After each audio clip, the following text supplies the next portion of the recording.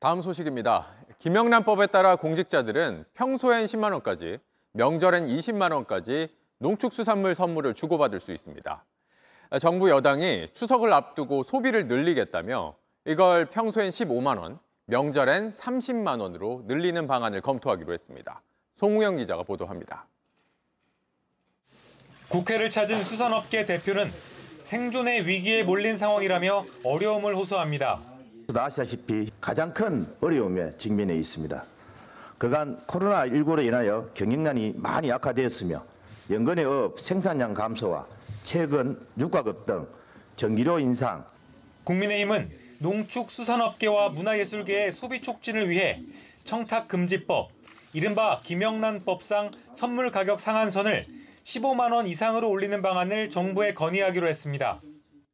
50% 정도의 인상은 필요하다는 의견을 제시했고 이를 토대로 권익위원회 전원위원회에서 여러 상황을 종합적으로 판단해서 최종 확정에 발표하기로 했습니다. 명절 전후로는 평소의 두 배까지 가능하기 때문에 시행령이 개정되면 30만 원 이상으로 상한선이 높아지게 됩니다.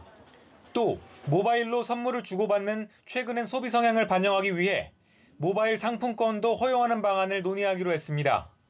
담당 부처인 국민권익위도 상향 필요성에 공감했습니다.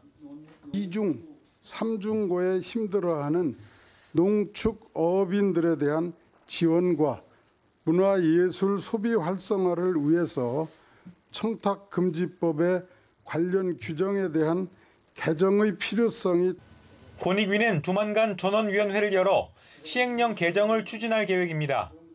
JTBC 송우영입니다. 안녕하세요. 뉴스룸 앵커 최재원입니다. JTBC 뉴스룸을 시청해주신 여러분 고맙습니다. 더 많은 소식은 JTBC 뉴스 채널에서 만나보시기 바랍니다.